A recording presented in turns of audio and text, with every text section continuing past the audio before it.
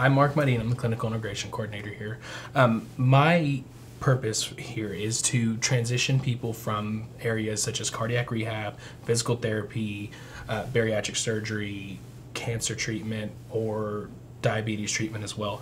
And what we do is we take you from the run of the mill cookie cutter. Everybody who's had knee surgery does this. Everybody who's had a heart attack does this. Everybody who's had bariatric surgery does this for recovery.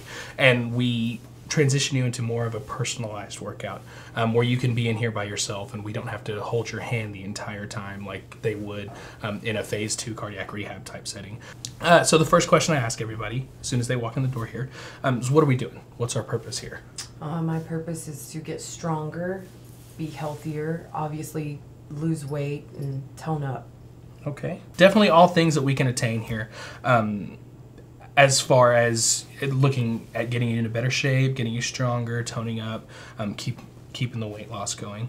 Uh, so what I'll do first is we kind of go over a quick health history. Um, I try to get in depth as possible. Uh, me to get to know you, what you've been through, what you're going through, uh, and how we can progress from there. Okay, so what I transition to next is um, sort of a fitness type history. Okay, uh, what I like to ask everybody as soon as they come in here is on a scale of one to ten, with one being I have no idea what I'm doing, to ten being I'm a seasoned veteran, I can go at it alone. If I were to tell you to go out on the gym floor right now and give me a full body workout, upper body, lower body, resistance training, plus cardio, where would you put yourself on the scale? I would say an eight. 8 Okay, so got some history in a gym, kind of know what you're doing. Wonderful, wonderful. Um, so have we always been a member of a gym, that type thing? Okay, kind of the part where I go over. Uh, as far as our trainers go, our fitness staff is second to none around here. Um, our trainers, we all hold ACSM certifications, and it's either a certified uh, health fitness specialist, which is what myself, myself and um, Abby are both HFS, uh, and we also have ACSM certified personal trainers, and that would be a couple of other trainers that we have. Uh, we all have four-year degrees uh, in exercise science or kinesiology, so we know the biology of all of this. We know the psychology, the physiology, all of that good stuff. So you've put yourself in very good hands. Uh, now that being said, personal training is available to you if that's something you think you might want to do. I always ask likes and dislikes. Okay, everybody has things that they like to do or has things they don't like to do. You rarely catch me on a treadmill around here just because it's not my thing. Uh, I teach spin three times a week, so I'm more of a bike kind of guy.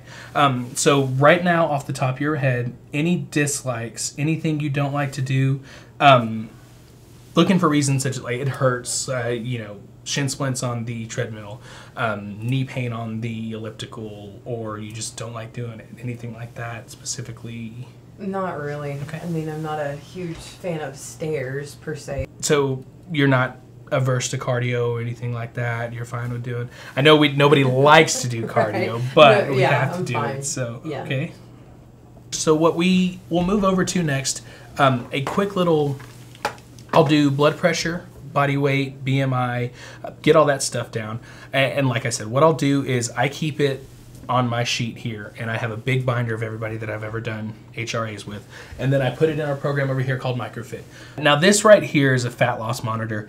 Um, the way that it works is it uses bioelectric impedance uh, in order to see what rate the uh, electronic pulses that it sends go through your body.